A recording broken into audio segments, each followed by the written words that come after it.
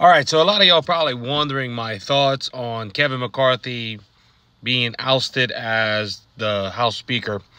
I don't like it. I, I really don't like it because, first off, what Matt Gaetz said that Kevin McCarthy, they're going across the aisle to pass the spending bill. Matt Gaetz did the same thing to pull him uh, to, to get uh, to get Kevin McCarthy out of being a House Speaker.